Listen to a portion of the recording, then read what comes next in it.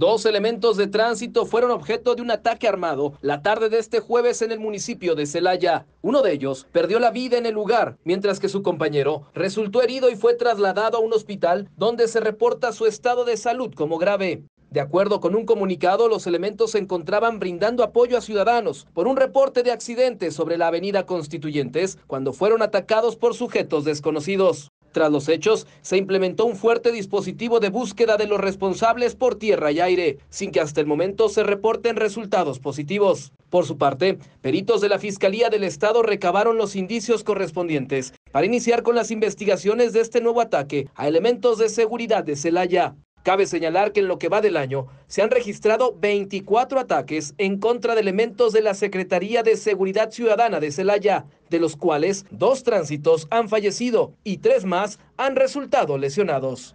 Víctor Gómez, Noticieros Expresa TV.